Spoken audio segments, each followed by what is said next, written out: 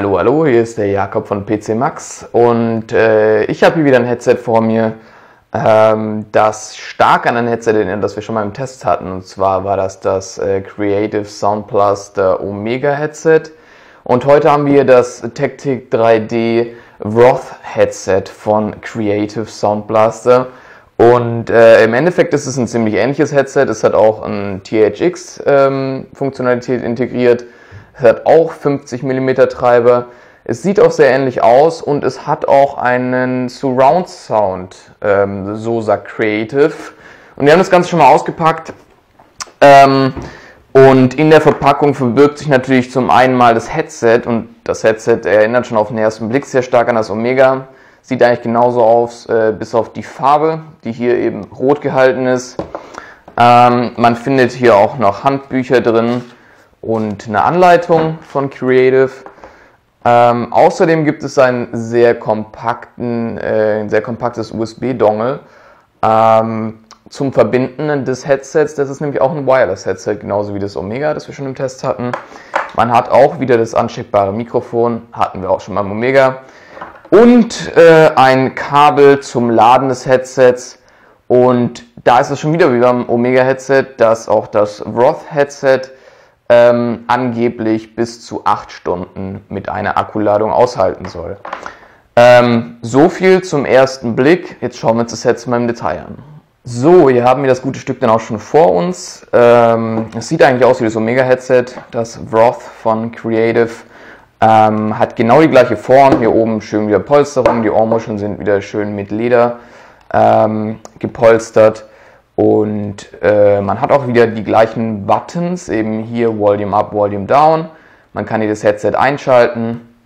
Ähm, man kann hier unten das USB-Kabel anschließen zum Laden des Headsets und kann auch wieder das Mikro eben einstecken hier an der Seite. Ähm, so. Und äh, wenn man das eben angemacht hat, das Headset, dann leuchtet es in dem Fall jetzt eben rot, ähm, nicht wie beim Omega Blau.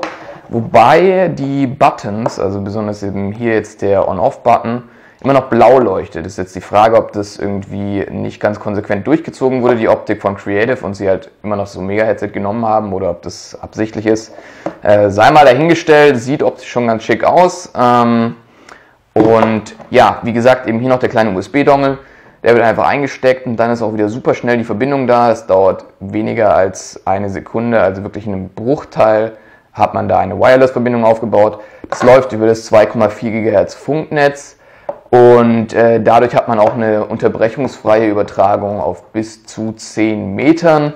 Wobei man sagen muss, dass ähm, sobald es durch viele Wände geht, äh, die Verbindung dann auch sehr schlecht wird schnell.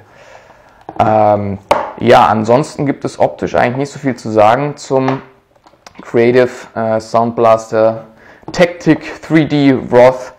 Ähm, und jetzt hören wir uns das Ganze mal an. So, wie es leider immer ist bei Videotests mit irgendwelchen Audiogeräten, können wir euch natürlich den Ton jetzt äh, nicht besonders gut zeigen. Ähm, man kann allerdings so viel sagen, dass es im, im, Prinzip genau der gleiche Ton ist, der auch beim Omega rauskommt.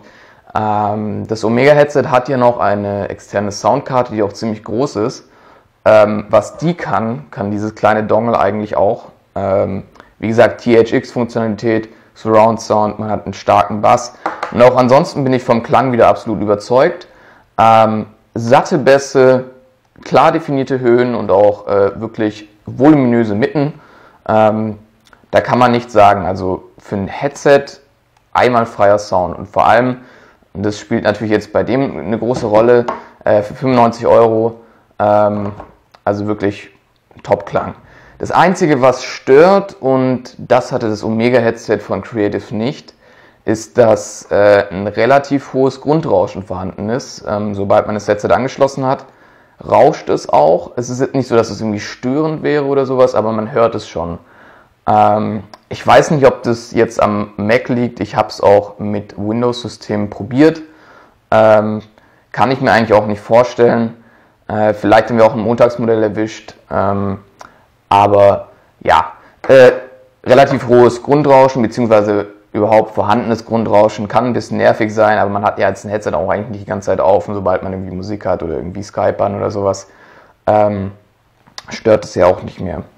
Äh, Mikrofonqualität ist auch wie beim Omega einwandfrei. Also ich habe die Vermutung, dass hier wirklich genau die gleiche Hardware drin arbeitet. Man hat ja auch wieder eben diese großen äh, 50 mm Treiber verbaut im, in dem Headset. Und ähm, ja, das Einzige, was es eben besser macht als das Omega, ist, äh, dass es wesentlich günstiger ist. Und äh, ja, damit können wir eigentlich auch schon zum Fazit kommen. Ähm, das Roth ist wirklich ein empfehlenswertes Headset, gerade für 95 Euro. Ähm, auf jeden Fall ein Kauf wert, wenn man denn mit dem Grundrauschen zurechtkommt. Das muss man vielleicht auch einfach ausprobieren. Ähm, wie gesagt, es kann gut sein, dass wir ein Montagsmodell haben. Ähm, ansonsten hat mir sehr gut gefallen, dass es eben auch wesentlich kompakter ist als das Omega durch dieses kleine Dongle und nicht diese riesige Soundkarte, die dann irgendwie doch nicht so viel mehr kann, wie man vielleicht denken könnte. Ähm, ich habe es ja jetzt verglichen und vom Klang her kaum einen Unterschied gemerkt. Das Einzige, was eben die Soundkarte von Omega hat und was den Aufpreis rechtfertigt, ist, dass man eben noch eine zusätzliche Quelle anschließen kann und das Ganze dann noch umschalten kann und dass man noch Einstellmöglichkeiten hat. Die hat man aber bei dem Headset auch, dafür gibt es auch eine Software. Ähm, ja, und ansonsten bleibt mir die Empfehlung, 95 Euro, klasse Headset, super Klang. Zum Tragekomfort habe ich jetzt noch gar nichts gesagt, weil ich das auch schon mal Omega getestet habe. Ähm, also es sitzt super. Es ist jetzt nicht so, dass der komplette, die kompletten Außengeräusche abgedämpft werden. Also man hört schon noch was von außen, aber ähm, weniger. Sitzt gemütlich, sitzt lange gemütlich. Äh, ja, das Preiswert klingt gut. Ist ein Kaufwert, wenn man denn das Grundrauschen irgendwie verschmerzen kann.